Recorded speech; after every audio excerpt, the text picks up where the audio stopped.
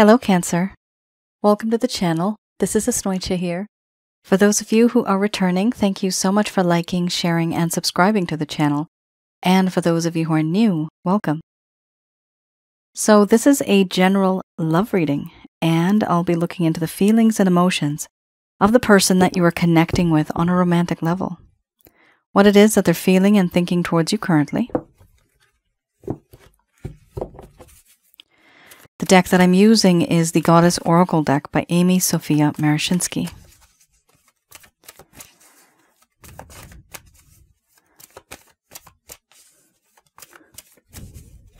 So, some of you may have been in a relationship with this person in the past.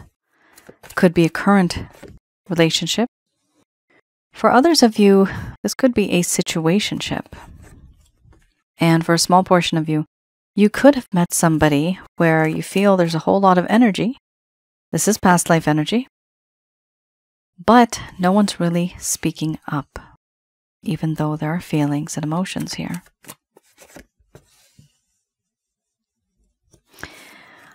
Wow, Cancer. A lot of um, emotions, feelings, and doubts. Good Lord.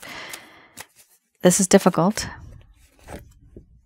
It's like you know there's something there, but it's not progressing forward as you may like. And wow, we have anger and rage under the bottom of the deck, the overall arching theme.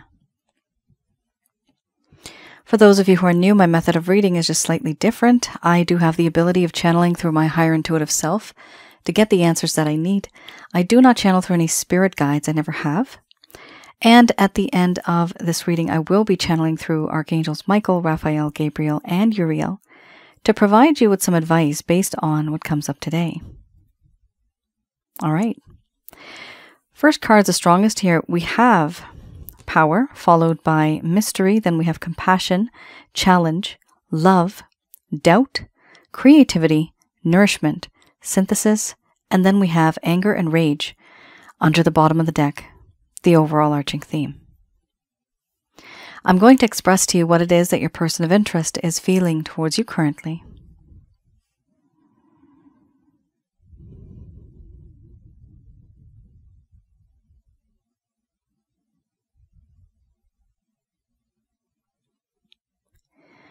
My dear Cancer, I do love what you do, and I do admire the power that you have over me. Yes, I feel powerless because you are so powerful. You are very tempting. And there's something in this connection that just makes me emotionally vulnerable and weak in the knees. I'm unable to move forward. There's a part of me that feels no matter where I go, no matter what I do, something's going to happen. And I, I'm always thinking about you. I'm always tempted. But in addition to that, what I have realized that I feel I've met someone. This is you. Who really makes me feel as if there is such a thing as a past life spiritual connection. Is there such a thing? I am now starting to believe perhaps there is. Why? Because everything that I feel towards you, I feel as if I've known you from before. As if so many things you and I have done, the things that we say to each other, I feel extremely comfortable. Sometimes there's certain things that I don't know about you. But for some reason, I still feel as if I know you. I question the universe and I question the heavens why? Why are you in my life? Why now? Why not before? Why not long ago? I question this. And no, I do not receive an answer but it boggles my mind how you and I have met under these circumstances. why things are so complicated. It's almost as if the universe is teasing me. I can't have what I want, but I want it so badly. When you're not there, I can sometimes smell your scent. And when you're not with me physically, I can feel your presence. In my dreams, you were there. And in my dreams, I feel as if I know you. And I feel so comfortable. The things that I have said and done, I know what I've gotten you into. Your life was so different before. And for a time, things were good. They were great. But then, for me, it became a little too intense. Then I took a step back. And now I have compassion for you and I have empathy and sympathy for you because of the things that you have gone through, but it's also because I know I've put you through them. Moving beyond this, talking to you, trying to make things right, I find this very challenging now. The challenge is so strong, this is now a problem to which a solution cannot be found, I feel. A riddle that just can't be solved.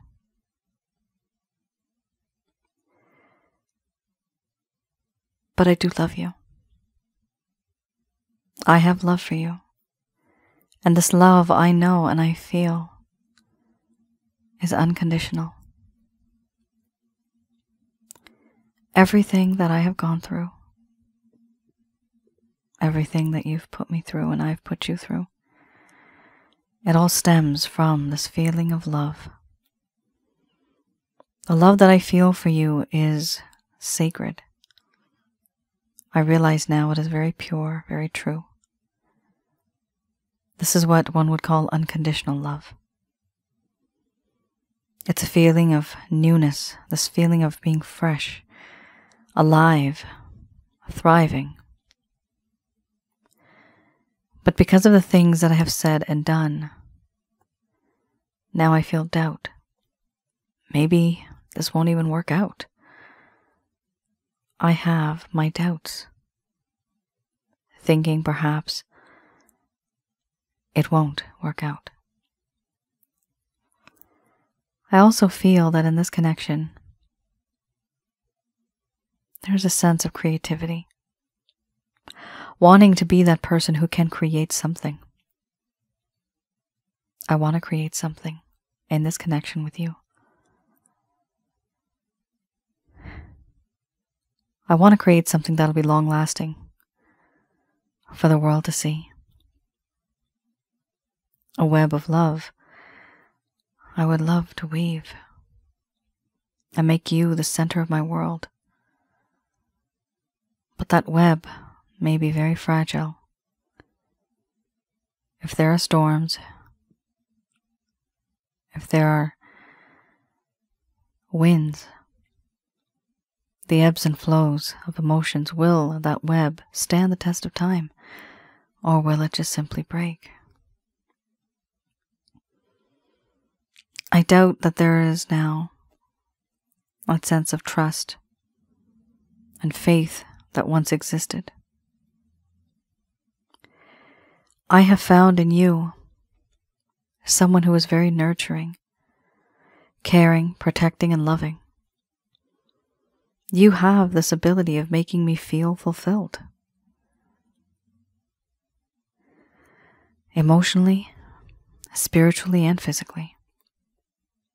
You are the perfect mate. I feel that in this connection, there is this understanding. There is this desire that I have. I want to be that person who can be there for you when I know I haven't been. But I feel that a change needs to occur. I'm just finding it very difficult to do that and to even find that courage. Right now, back in the day, there was a sense of peace and harmony. And I want to restore that peace and harmony. I want to make things better. I want to restore things to the way they were once before. Because I have hidden things deep down in the darkest shadows of this forest, hiding the truth, hiding certain things from you. Certain things that I didn't want you to know. Certain things that I didn't want you to know because it would hurt you.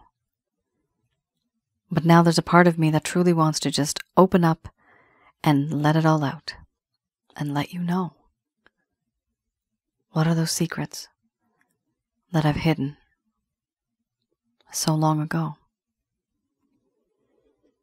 Overall, the things that I have said, the things that I have done, I have really ruined something that was once so beautiful. And I can't forgive myself for that. I am angry at myself. There is rage. There is irritation and annoyance. I don't know why I did what I did. Maybe I wasn't in the right state of mind back then. Even now, I know what I've done is wrong.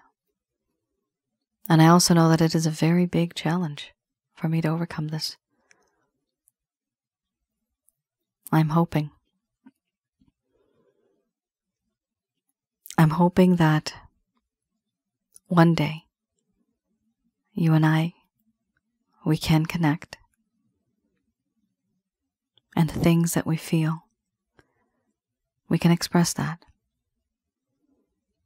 Because right now, I feel a very strong spiritual bond between you and I, something that I cannot escape.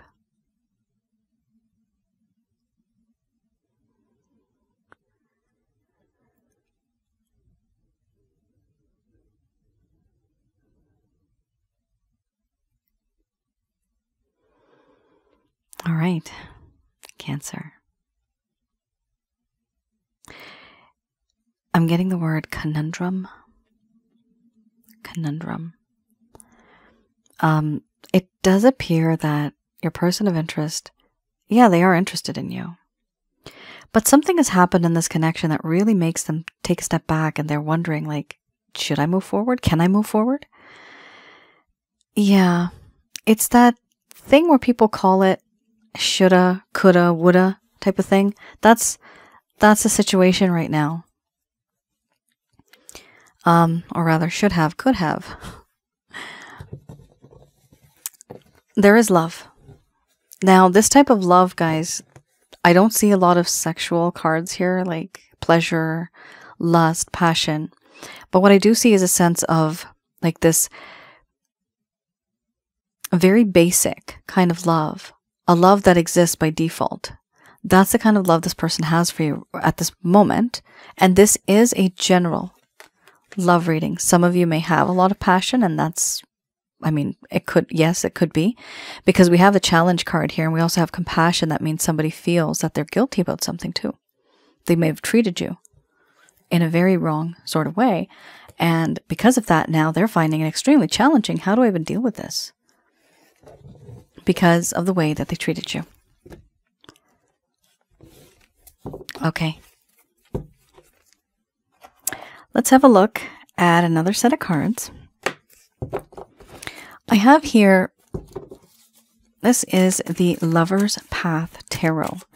So with this deck, what I like to do is have a look at any sort of, hmm, okay. These are reasons or rather, two reasons out of the many why things went downhill. So things in the beginning were going great, they were going up, and all of a sudden, boom, they just went kind of down. They plummeted that way. What was the reason? Things were going great, you thought you both were on track, and all of a sudden, this person just either ghosted you, They just left. They faded. They just they started to communicate with you less. Their messages now are maybe once a week, once a month, very, very scarce. And then we also have that feeling of lack of closure. They never told you what happened. You were close and you would at the very least expect an explanation, but a lot of people don't talk. A lot of people don't talk because they do not want to create a scene and they do not want to be that person who is in charge or who is responsible for hurting you. Usually, people don't want to be put into that sort of situation. They feel very awkward. So, what do they do? They just stay silent and they fade away into the darkness. Here, we have the Nine of Cups and the Four of Staves. Traditionally, these are very beautiful cards, but this deck I read in the reverse. This is for those of you who were in this situation. This is in the past. The first set of cards you just saw, that is the current status. Okay, let's have a look. Nine of Cups and the Four of Staves.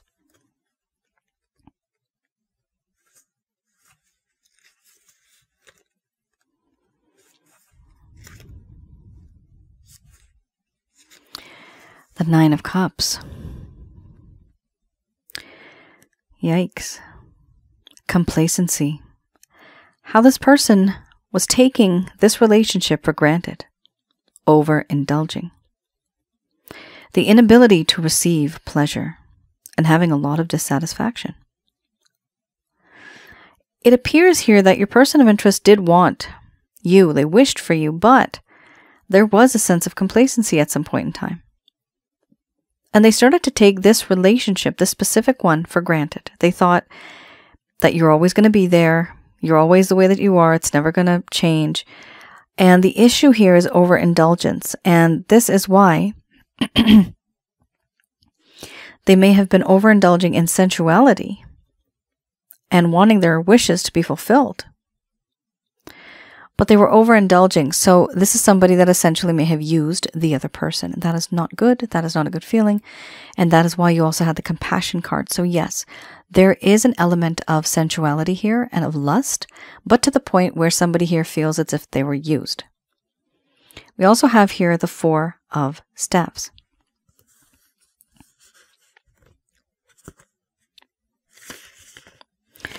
The Four of Staves here talks about how this person, at some point in time, they were wanting stability. There was frustrations and disappointments at home. So it does appear that whoever your person of interest is, wherever they were from, they were having a complicated situation at home in their home environment. This could be a current situation that they were experiencing, or this could literally be stemming from their past, even their far past, right? Way back then. Could be from childhood. It could be trauma. Whatever it is, their emotional and mental state was affecting this relationship now. What can somebody do when they feel like that? Crosswatcher, you need to talk to somebody. Because we cannot live like this forever. Otherwise, you'll be sabotaging every relationship. You need to heal from what happened, that disappointment at home, whatever that was, whether it is trauma, hopefully not abuse, but it could be. Whatever it is, you have to heal in order to move forward in any connection. Cancer, even if you were to be with this person, it would be very difficult because I do not see this individual truly feeling that sense of emotion Right now they are because the first set of cards you had. Right now they're starting to understand what emotions are like, what it feels to miss somebody. They're feeling that now. However, back then, they took it for granted. They did not value it. Now they are starting to value it once it is not in their life. That's fine. That's the way life is. Sometimes we have to step away in order to have another individual feel that value. And that's what happened. You don't know what you've got till it's gone. That's exactly the situation here. All right.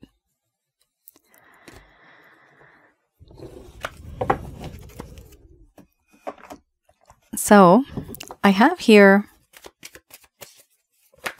Yikes. I have here the Beginner's Tarot. And with these cards, what I like to do is have a look at any actions, any plans, any intentions they may have towards you.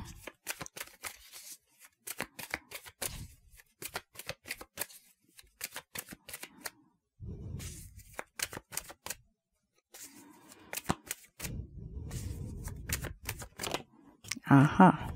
There you have it. So we have here the Eight of Swords, the Hanged Man. Wow. Ten of Wands. Followed by the Five of Swords.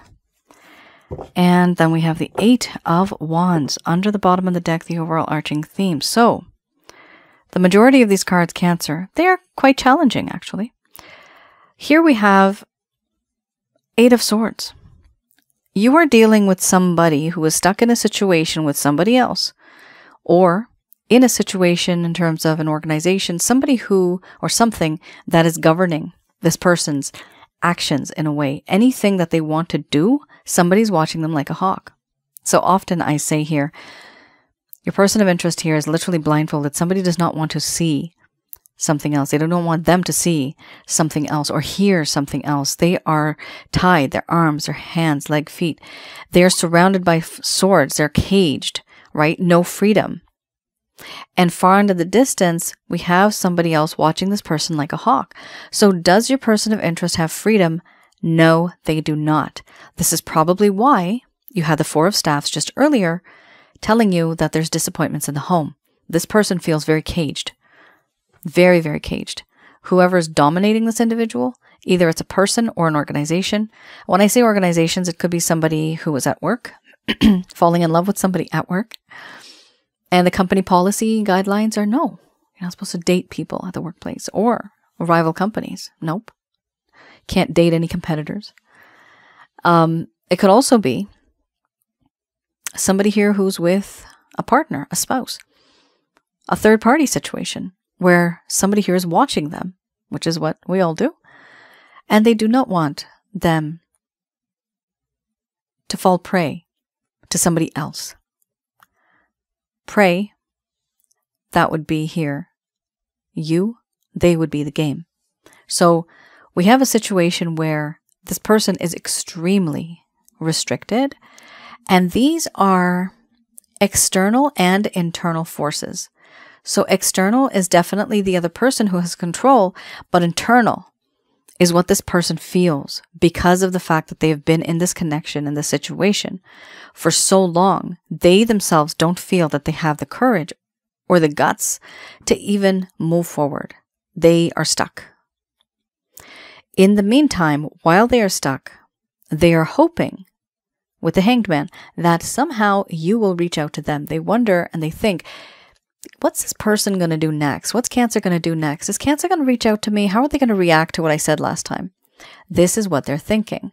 In the meantime, they are also, with the Ten of Wands, very burdened. They feel that there's so much that they have taken on in terms of workload, family obligations, anything to do with their life, career, finances, all that stuff. They feel very burdened.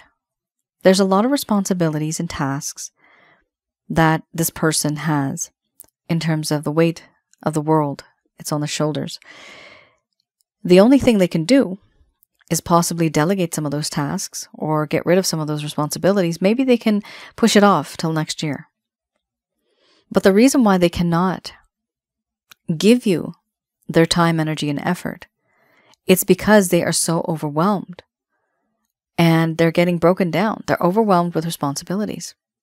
Part of this could be from work, and part of this could just be everyday life, issues from life that we have, family related issues, health related issues, anything, bills, right?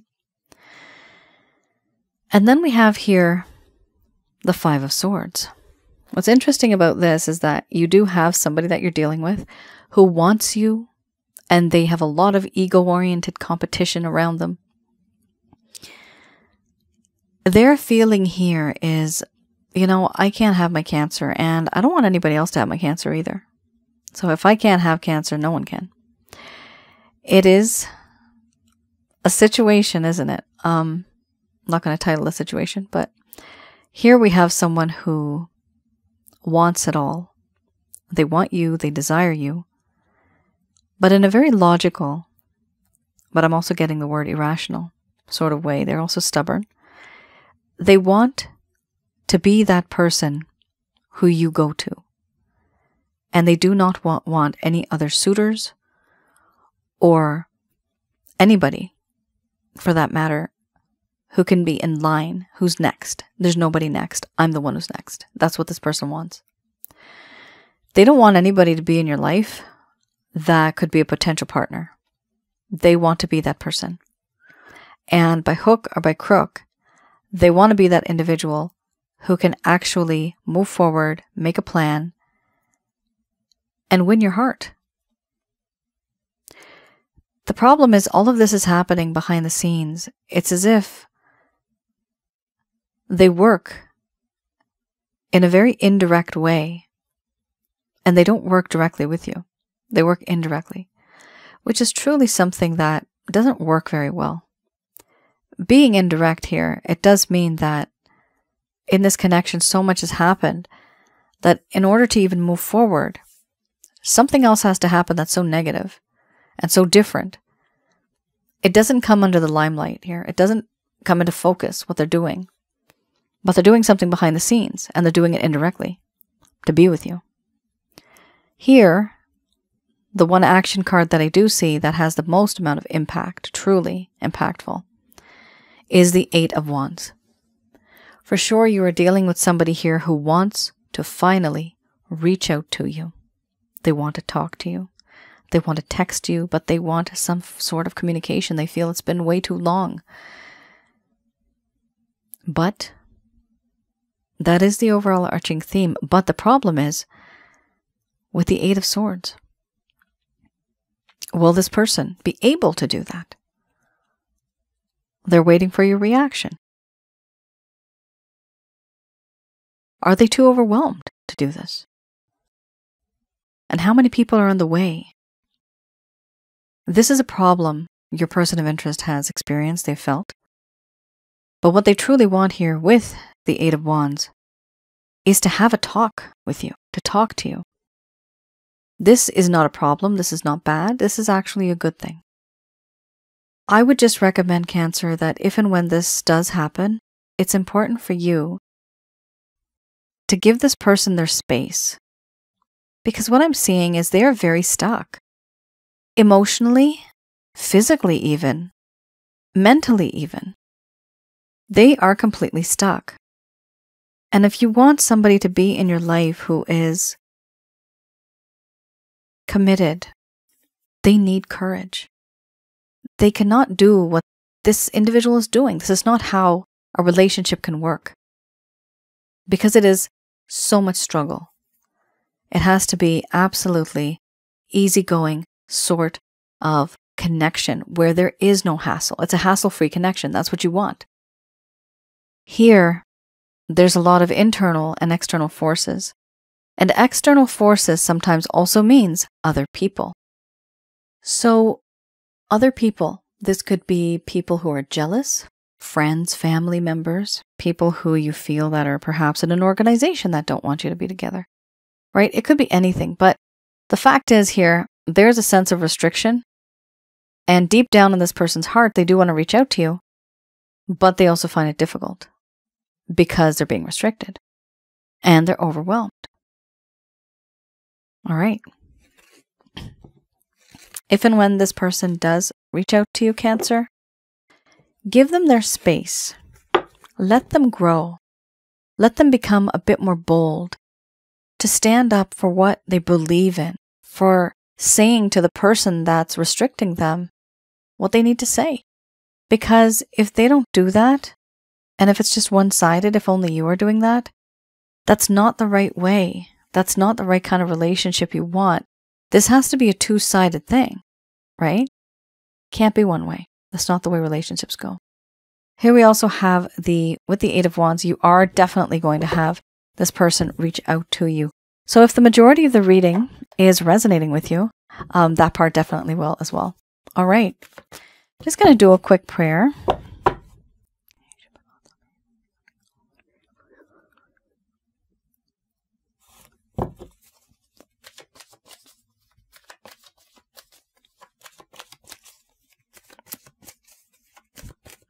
All right, these messages are brought to you by Archangels Michael, Raphael Gabriel, and Uriel.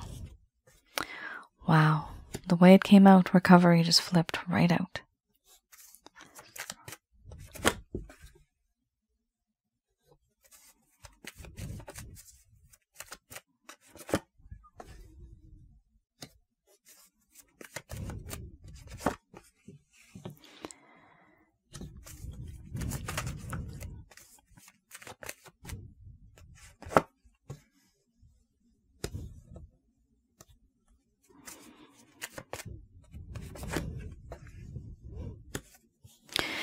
Not bad at all, Cancer. Very nice. Very happy to see this.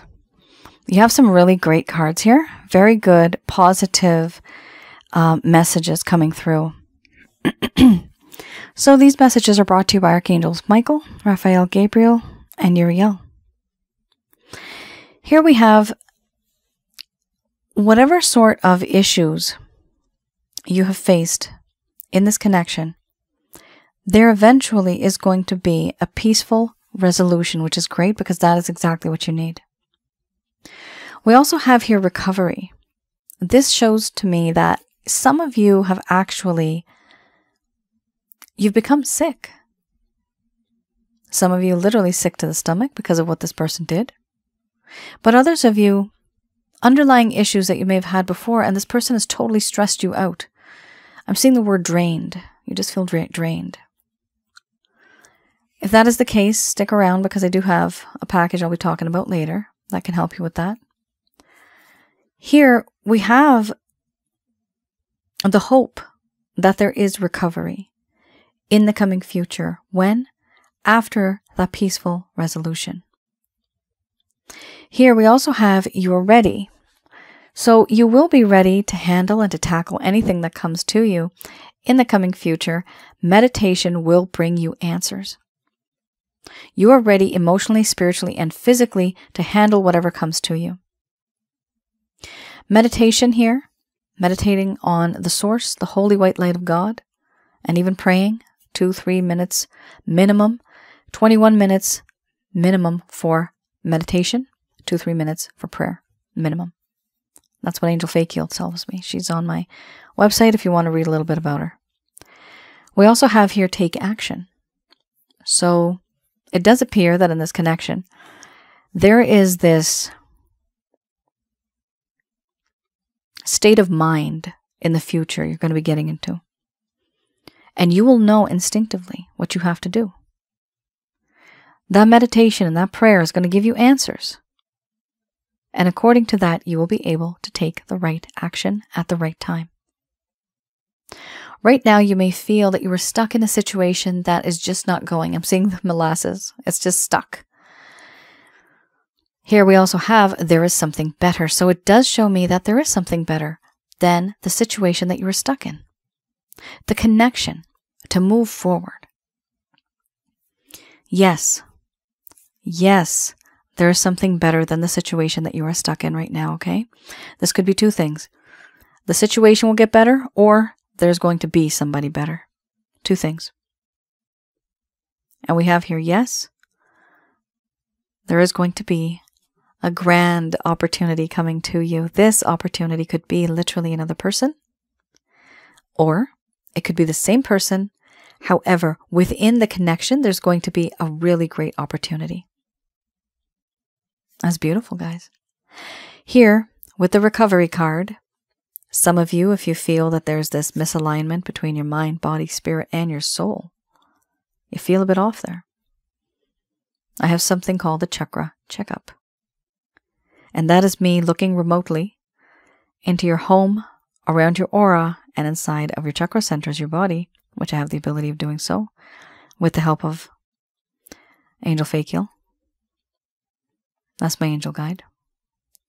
Like I said earlier, you can read a little bit about her on my website. I'm able to see negative energies. things that are around you, things that are inside of you, and things that are in your home.